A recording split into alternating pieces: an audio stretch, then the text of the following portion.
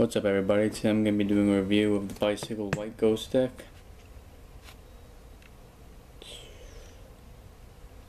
This deck was, I believe, $7 on ellusionist.com or you can get it on Amazon, which is where I got it, same price. US playing card. Air cushion finish. Made in USA. It's one of my favorite boxes of all the card the cards I have.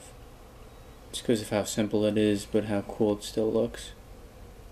With uh, spade on the front, and the back of the card is just like any other bicycle, like that, but white and black. Also has a reveal. Seven diamonds. And Queen of Hearts. Poker size cards. Alright, so now I'm going to get to the actual cards.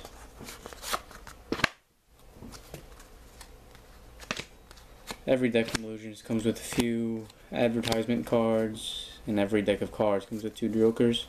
Just one of the advertisement cards. It's pretty much a cool design. It's the hearts and the diamond and spade. It says Ellusionist, the logo on the top. We have another Ellusionist card. Like a snake Ellusionist symbol. And two jokers. Which actually aren't the same jokers you'll find in a regular bicycle deck. Different. Both jokers are the same. And then we have the regular cards. The hearts and the diamonds are actually red. The pips even if the card is black. So there actually is no red, like here in the middle. All the red cards, they're only red right there. Like, for example, here's an average card, red bicycle. You'll see in the middle it's red, all the pips are red. But on the white ghost, only the ones at the top corners are red. The middle ones are all black in the whole deck. Actually makes it look cooler. Let's try to find the face card. Here's a jack of spades. Obviously not going to be red because spades aren't red. So it's just black on black. Pretty much an average. The rest of the deck, besides the fact that the pips are red, it's just an average deck course they handle really well though because it's an Ellusionist deck. They these have a air cushion finish on them, so they spread pretty well.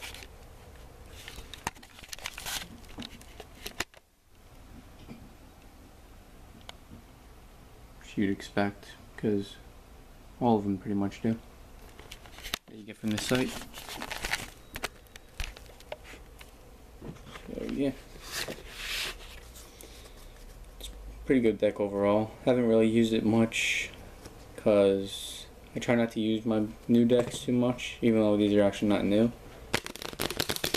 I got them new, but I don't use them much because I don't like to ruin good cards. I usually use my poker cards or something like that because I don't care if they get damaged much because they're not that expensive, but seven, six, eight dollar cards I don't really want to ruin.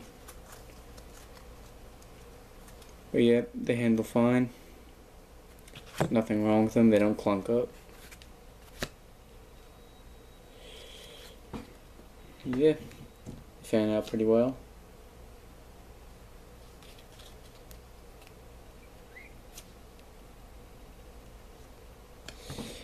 Yeah, that's pretty much it. I'd say out of 10, I'd give these cards 9. Not a 10 because I don't think they're that much further than regular bicycle deck. Here's ace of spades by the way. See that the ace actually looks different. Spades is around, it's not under the ace. Yep, 9 out of 10, minus a point because Really nothing crazy about it. It's pretty much just a bicycle deck white on black. Except for the ace of spades which looks different and the red pips. And that's it for this deck.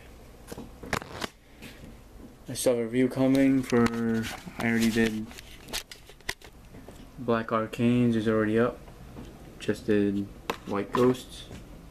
I'll be doing the Bicycle Series 1800s and the Tally Ho Vipers,